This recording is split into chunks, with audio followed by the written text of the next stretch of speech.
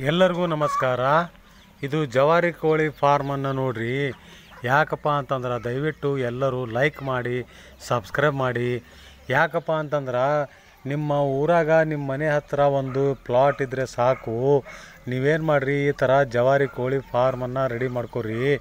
ಯಾಕಪ್ಪ ಅಂತಂದ್ರೆ ಇದ್ರದ್ದು ಒಳ್ಳೆ ರೇಟ್ ಬರ್ಬೇಕು ನಿಮ್ಗೆ ಆ್ಯಕ್ಚುಲಿ ಒಳ್ಳೆ ಲಾಭ ಆಗಬೇಕು. ಇದು ಮಾಡೋಕ್ಕಿಂತ ಮೊದಲು ನೀವು ದಯವಿಟ್ಟು ಏನು ಮಾಡಿರಿ? ಸೀದಾ ಡೈರೆಕ್ಟ್ ಏನು ಮಾಡಿರಿ? ಹೋಗಿ ಪಶು ದವಾಖಾನೆ ಇಲಾಖೆಗೆ ಹೋಗಿ.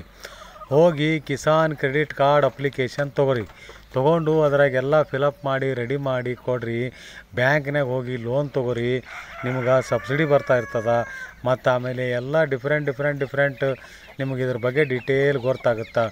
ನೋಡಿ ಹೇಗಿದೆ ಜವಾರಿ ಕೋಳಿ ಫಾರ್ಮು ಇದು ಭಾಳ ಇಂಪಾರ್ಟೆಂಟ್ ಇದ್ರ ಬಗ್ಗೆ ಡೀಟೇಲ್ ಕೇಳಿ. ಯಾಕಪ್ಪ ಅಂತಂದ್ರೆ ಜವಾರಿ ಕೋಳಿ ಇದ್ದರೆ ಚಿಕನನ್ನು ಕೇಳ್ರಿ.